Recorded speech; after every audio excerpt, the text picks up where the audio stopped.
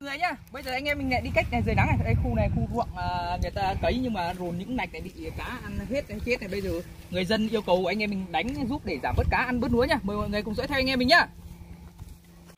Cả xô luôn.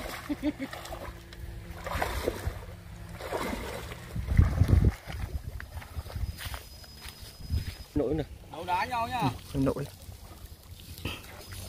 Ôi còn gì đây? Trước cái tao quạt quạt phẹt ra đây. Đấy là cục rồi. Ôi trời. cột giờ đấy Ui rồi một cột đấy. Một số các bạn. Đi sẽ nhặt thôi đó. chết này vậy chứ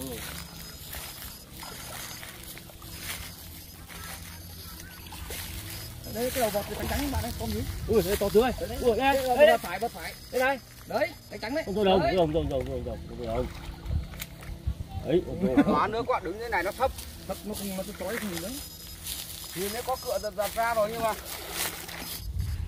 Ừ, những đoạn kiểu mạ chết thối với cá ăn này.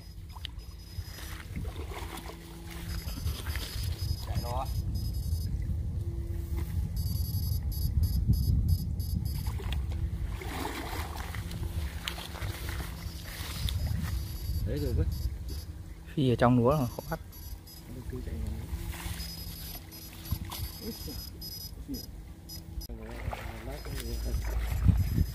chả con biết là đấy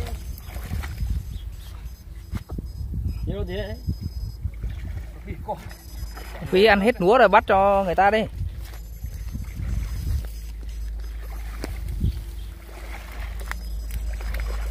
Đấy. con này chưa được đấy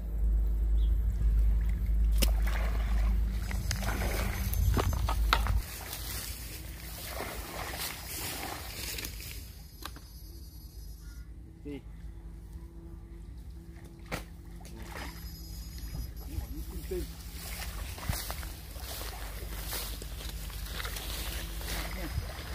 đấy to đấy. Đấy. Che đấy.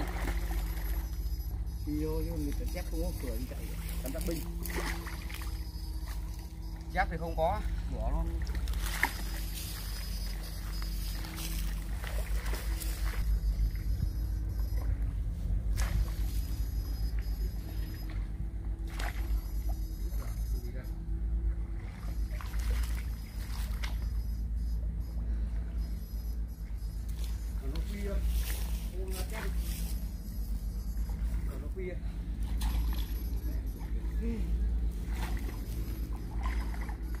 không phải hiểu sợ ra đấy một một con.